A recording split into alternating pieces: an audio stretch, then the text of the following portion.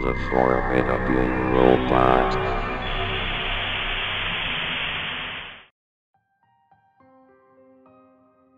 Have you guys heard of that short by Adult Swim? You know that disturbing video. I haven't watched the short for a while, so I'm going to tell you what's from my memory about the video. And yes, you can watch it, it's on YouTube to this day, go ahead. Anyway, I saw a version of this short, and for God's sake, it still messes with my head to this day. Here's what the different version of the short looked like. It started with the bear moving around. But there was murmuring in the background. It cut to black abruptly and it showed an ill looking woman at a playground with kids playing in the background. It felt like an ad you would see on YouTube normally. It was like a normal medicine ad. Nothing more and nothing less. The woman begins to say something to the camera after the shot, but it was very hard to make out since there was a static noise blocking it, and then she drives away. This is where everything gets creepy.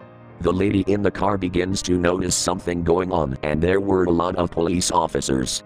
A crime scene tape was blocking the house, and it came to my conclusion that somebody was murdered, and a police officer was crying his eyes out with another officer comforting him. So that proved my point that somebody was indeed murdered in that house.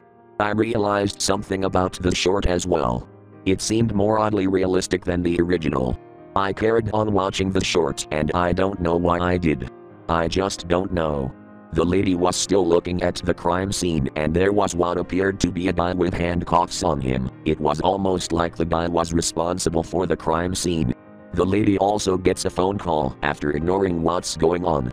The scene abruptly cut to static and there were images of ill people, then it got worse. It started showing images of ill people getting hung by nooses. What kind of sick joke was this? Seriously, I want an answer. I started wondering if this short was made by a serial killer because of the things I just saw. I started thinking it was made by a serial killer once more since it went back to the woman with cuts and wounds over her. She begins to get chased by somebody after she stepped out of her vehicle and then the lady got ran over by the person. If you saw the normal short, you would know that it's not some random guy. It was a clone of herself and she was not dead. However, since this version is pretty realistic, that part was not present. She was dead, and there was a blood pool under her. It also looked as if she was run over by a train because there was a crushed ribcage with body fluid and numerous types of organs coming out. The short then ended after the scene.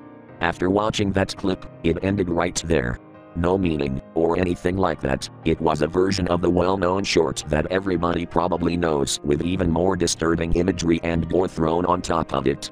I think twice about watching Adult Swim, and the worst part is that this was aired on the channel at some point, and it also aired once